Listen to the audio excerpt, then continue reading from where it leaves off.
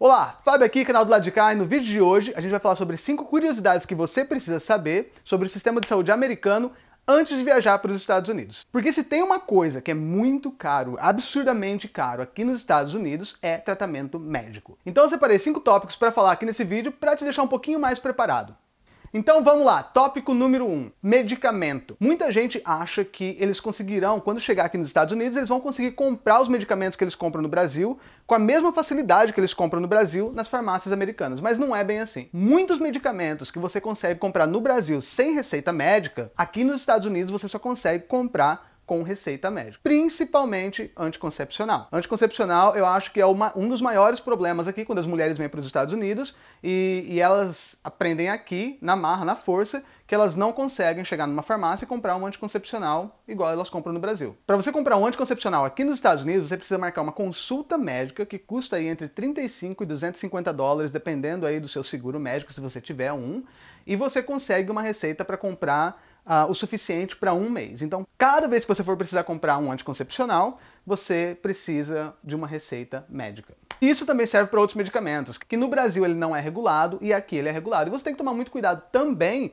quando você traz esses medicamentos do Brasil, que não são regulados lá, mas são regulados aqui, e você tenta entrar na fronteira achando que vai conseguir entrar, e se eles te pararem eles pedirem a receita médica porque o medicamento é controlado aqui nos Estados Unidos e você não tiver a receita médica, você provavelmente pode perder esse medicamento também. Então, para que isso não aconteça com você, eu aconselho que antes de vir para os Estados Unidos, você pegue uma receita médica, mesmo que seja um medicamento bobo, uma coisa para gripe, um anticoncepcional, isso, aquilo, você pegue uma receita médica para caso, se caso você for parado na fronteira, você ou na alfândega, você eles não você não perca o medicamento.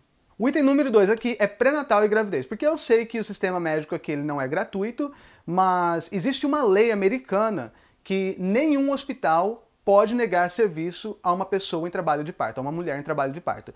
Porque é só mulher que entra em trabalho de parto, né? Então, uh, nenhum hospital ou clínica, seja particular ou seja ah, não existe clínica pública aqui, mas hospital, ele, você não, ele não pode negar serviço a uma pessoa que esteja em trabalho de parto. Ah, então, se você estiver grávida ou se você se engravidar aqui e você precisar ir às pressas para um hospital, você pode ir para qualquer hospital que eles vão te atender. Mas isso não significa que vai ser gratuito, a gente vai falar sobre isso no item número 5.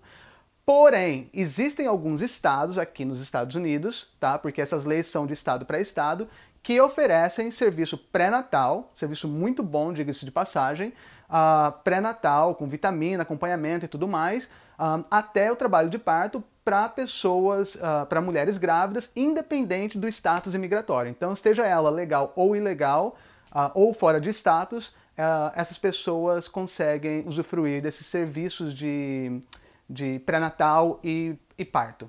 Então vamos lá, item número 3. O item número 3 é um negócio meio controverso, porque muita gente tem várias opiniões diferentes sobre isso, especialmente nas comunidades brasileiras aqui do Facebook, Instagram e tudo mais. Mas se você se machucar no trabalho e você é um daqueles uh, daquelas pessoas que trabalham off the books, que é não, como se não se fosse registrado aqui nos Estados Unidos, o seu patrão não tem a obrigação, não tem a obrigação de pagar suas despesas médicas, tá? A, a obrigação. Na, na verdade, o que acontece é o seguinte: se você se machucar no trabalho e você não for registrado, você vai ter que entrar com um processo para receber o Workers' Comp. E nesse processo vai aparecer que você não é registrado. Daí você tem que provar que você estava trabalhando e o seu patrão vai tentar provar que você não estava trabalhando e vira, vai virar uma briga aí de, uh, de como fala, fraude de imposto, porque quando você trabalha fora de registro, que não é permitido você trabalhar sem registro. Quando você trabalha off the books, é como se fosse uma fraude de imposto. O seu patrão vai ter que provar que você que você não estava trabalhando e você tem que provar que ele estava cometendo fraude de imposto. Então, muitas vezes os patrões, nesses casos, acabam arcando com a despesa do, do funcionário porque ele tem medo de ser processado por fraude de imposto, que é muito pior do que ter que pagar a conta do médico, porque tem gente que vai até preso por fraude de imposto. Uh, e geralmente, vamos supor, se você trabalha numa companhia de construção e você se machuca, você não é o único empregado que está trabalhando fora de status ou fora uh, sem registro naquela empresa. Então, se você acabar pedindo workers comp, eles começaram uma investigação por fraude de imposto nessa companhia, a companhia provavelmente vai fechar, esse cara vai ser multado por cada uh, funcionário que não está trabalhando regularizado ali e provavelmente ele vai para cadeia. Então, geralmente eles pagam, mas não porque ele é obrigado a pagar, mas sim porque ele está cometendo um crime de fraude de imposto por contratar sem registro. Número 4. Esse número 4 eu vou falar por experiência própria porque eu já presenciei isso, que é se você levar alguém para o hospital, você tem que tomar muito, mas muito cuidado com o que você assina.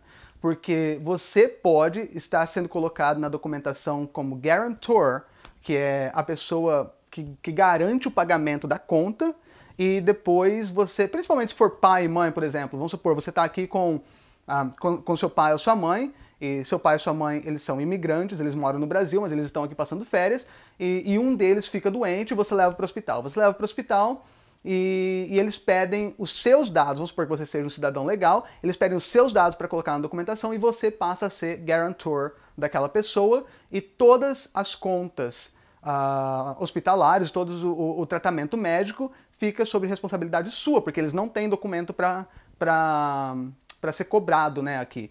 E o problema disso é que o seguro não cobre eles, o seu seguro médico não cobre eles, cobre você e a sua família imediata, filho, esposa.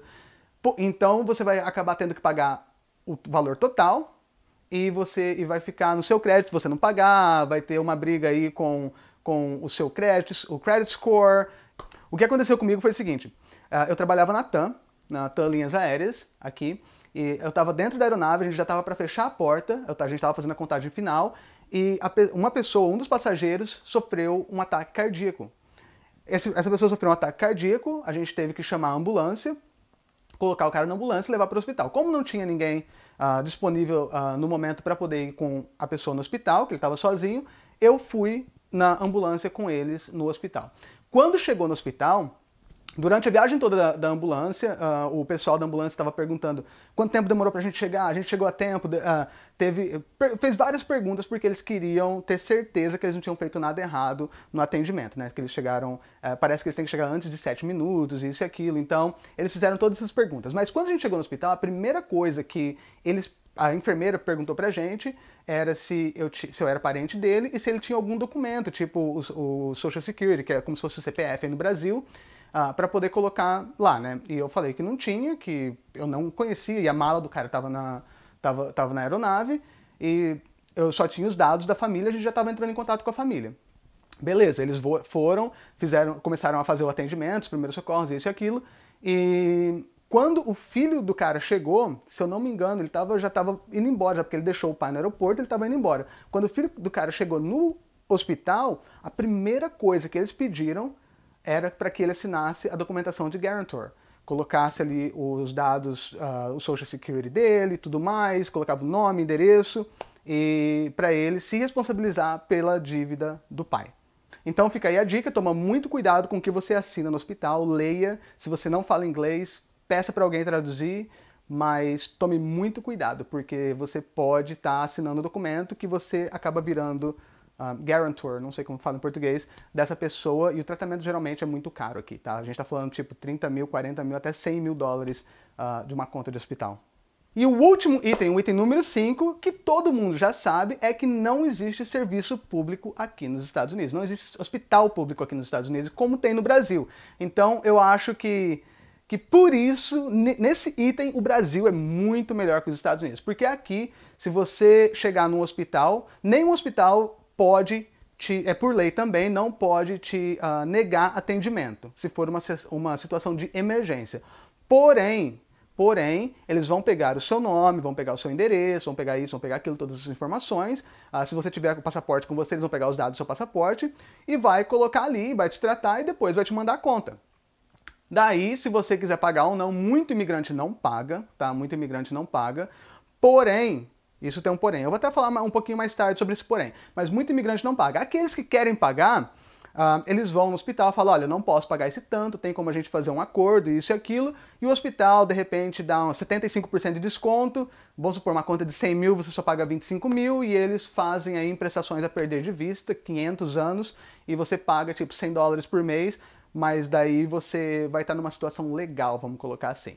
Mas aquelas pessoas que resolvem não pagar, como o hospital tem todos os dados, tem os dados do endereço, tem o nome, tem o número de passaporte, isso e aquilo, então entra no seu record. Quando você vai fazer seus documentos de imigração, seja para green card, seja para reajuste de status, seja para cidadania, eles pedem o seu nome completo, todos os nomes que você já utilizou aqui, uh, nomes diferentes, nome de solteiro, nome de casado, isso e aquilo, e os cinco últimos endereços os endereços nos últimos cinco anos, os cinco últimos endereços que você morou aqui nos Estados Unidos e os cinco últimos trabalhos. E eles perguntam também se você já utilizou do sistema de saúde americano uh, e não pagou, se você fez isso, se você fez aquilo. Então, tudo isso é, pode prejudicar esse fato que você não pagou essa conta no médico no, no começo, pode sim prejudicar uh, ou demorar, delongar mais o processo de imigração quando você for.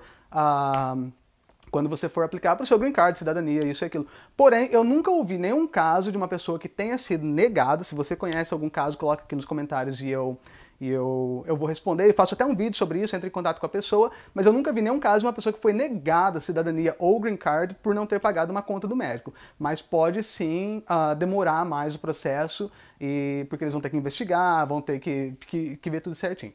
Mas é isso aí, galera. Espero que você tenha gostado desse vídeo. Muito obrigado por assistir. Não se esqueça de se inscrever no canal, ajuda muito. E compartilhe esse vídeo, porque quanto mais você compartilha, mais visualizações a gente get, a, gente get, mais visualizações a gente consegue e mais o canal cresce. Então, muito obrigado por assistir, até o próximo vídeo e tchau!